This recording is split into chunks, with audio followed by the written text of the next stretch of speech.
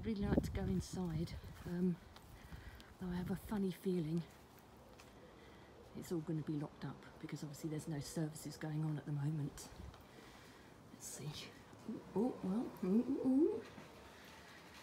Let's see, let's see. Yeah, it's going to be locked, isn't it? Yeah. That's a shame. But we shall come back. We shall come back. So I had come here to show you inside the church and the Slayer's Stone which is the story of the Dragon Slayer and the Knucker Hole here in Lyminster. But of course, due to the COVID outbreak and everything that's going on with all the unpleasantness, that uh, the church is locked. Oh wow, look at that. That's a massive branch come down here. Thanks to uh, Storm Francis that we had the other day. Look at this. Whew, that would have given you a headache, wouldn't it? Wow. Let's see where that's come from. Cool. Looks like it's weaved itself amongst the tombstones. Wow. Yes, so uh, yeah, Mary Magdalene Church, unfortunately, is all locked up. So I'm probably going to have to come back another day and, uh, and show you show you the Slayer's Stone. I do have a photograph. I'll, I'll try and cobble something together. Uh, so just so I can upload some stuff because I've been a bit lazy and haven't really felt like wanting to go out at the moment. Um, mainly because you can't get anywhere. But we'll have a look around. Don't know what it is about cemeteries and graveyards. They really they really do fascinate me. Feel at home. Shouldn't do really, I'm not dead. Thankfully. So just pleasant to wander around. It's um it's been a bit weird these last few months, hasn't it? Every, for everybody all over the world, not just here in Britain and everything, but uh, yeah, it's nice to be out, even if it is in a graveyard. Just a bit, bit devastated I can't show you inside the church, because it is locked up. Oh, there's a grave there that looks like it's been opened. Let's have a look. When I say opened, it's not been opened really. But it's just had a bit fall in.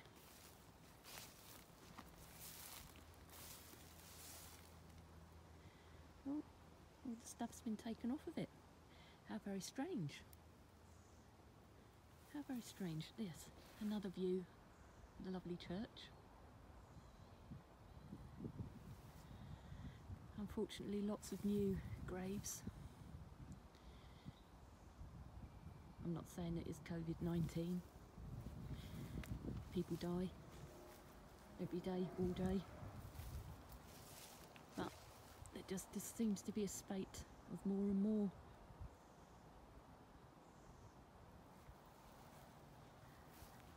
I might wander down the little path and see if I can get a view of Knucker Hole for you, which is where the dragon, the alleged dragon, lived. Um, they're pretty. Uh, it is private land now. Last time I came I had to bring a step ladder, which did look funny, I have to say. Um, but let's see. It's along this route. I'm not sure how long this, this is. I'm using my phone because my camcorder I charged up before leaving and as I as I started recording it said dead battery and I know it was fully charged but um, maybe that's something to do with the area I am because they do say ghosts and the supernatural drain your batteries so I don't know. Is that true? It certainly was fully charged when I left this morning. There's the lovely fields. If you follow all the way along through there it will take you to Arundel. A bit of a hike but nonetheless a nice hike I'm not going to film all of this because it'll be a bit boring for you, so I'll go a little bit along and then I will rejoin you once I've got to the area where Knucker Hole is. See you in a second. It's getting narrower. Sometimes you can come through here and the grass hasn't been cut. It's a bit like a fight. Wear long trousers because of the nettles and adders and mice and anacondas, but, not really. So this is the way I came. This is where you can keep walking. Again, narrower and narrower, a bit more boggy. And this is actually the entrance to where Knucker Hole is, but I've tried to look through the gate and you can't you can't see anything really. I will post up a picture. Yeah.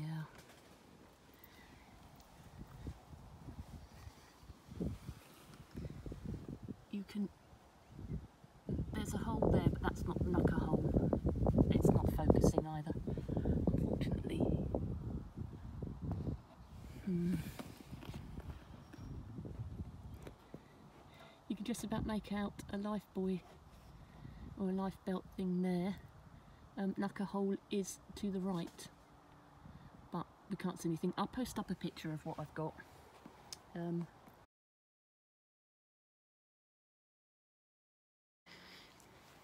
yeah, I'll post up a picture. It's a bit of a shame, but it's private property, that's fair enough. Uh, they've taken it on, but you, you can't see anything, which it's a real shame because it's, it's a massive folklore tale here um, about John Puck. I think it's John Puck.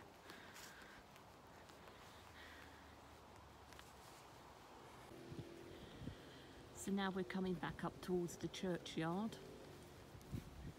There's a bit here that um, goes off around the back of the church because obviously in the olden days if you weren't christened or baptised you were buried outside of the churchyard. You weren't allowed to be carried through it. Uh, thank goodness that doesn't happen today. And the uh, legendary Dragon Slayer's tomb was actually originally in the in the churchyard here, but it was getting so weather beaten that they decided to bring it indoors.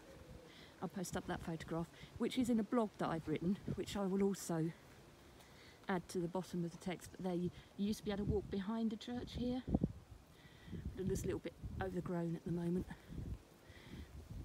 Obviously, no work going on. Not until this coronavirus has disappeared, or at least gone down a little bit. I don't think it's ever going to disappear. I think we've got that for life now. But uh,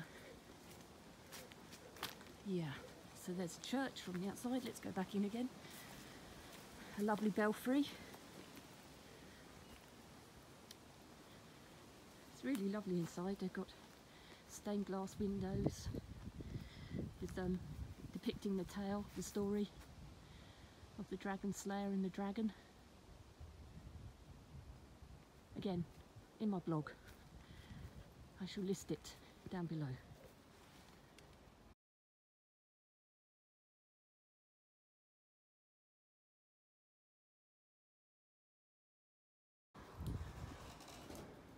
And uh, uses it another day. Maybe when it's a bit warmer. Because I have to say, when I came out this morning, it was lovely and sunny. Now it's just a little bit on the choppy side. Don't know what these, what these look like. Something important because they've got numbers.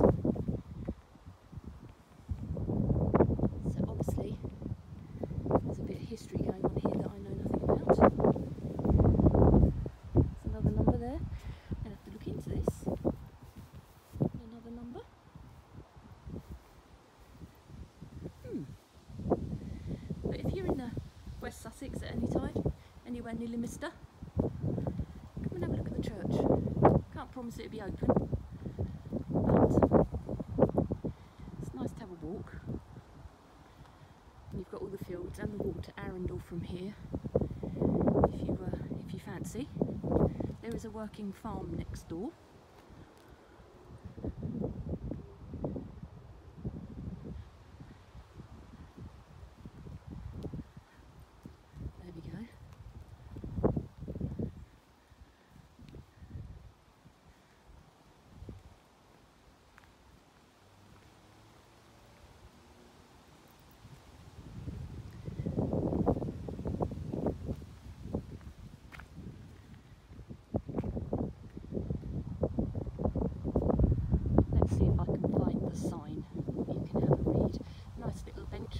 Tree there on a sunny day.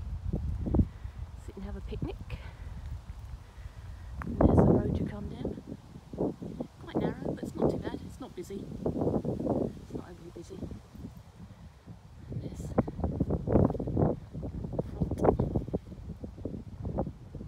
the church. Oh, welcome back. So it is open. Private prayer. Mary Magdalene. There we go. And there's that road that I just walked down. Well, I walked through the churchyard, but you can walk down there, which will lead you to the walkway, which will take you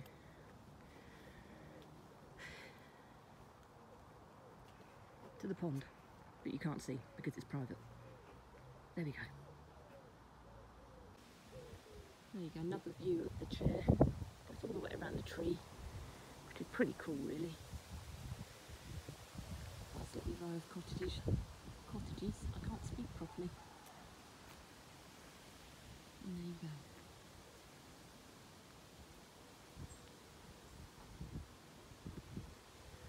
Ooh, time to go home for a nice cup of coffee, I think. It's really cold out here now. Right. Well, that was a bit of a shame, but hey, can't hedge it, can you? Um, yeah, I've got all my paperwork here. I'll just give you a really quick read. Um, so, St Mary Magdalene Church is situated right next to a working farm at the end of Church Lane, Lyminster. Uh, decoratively, they frame a wonderfully commissioned stained glass window of the legendary battle between man and beast. This is from my by, no, this is from my blog that I wrote. So if you want to have a read, perhaps I won't read it all because it's just a little bit boring if you've already read it. So um, there is a tomb head known as the Slayer's Slab, which is situated inside the church itself. So again, like I said, I'll put a photograph up and perhaps come and visit. Put a couple of quid in the box and uh, have a nice day out. Why not? It's got to be better than sitting indoors watching telly, unless of course you're watching blogs of me, which is really good. Or vlogs, should I say. Not blogs, blogs. Take care, have a good day. Bye.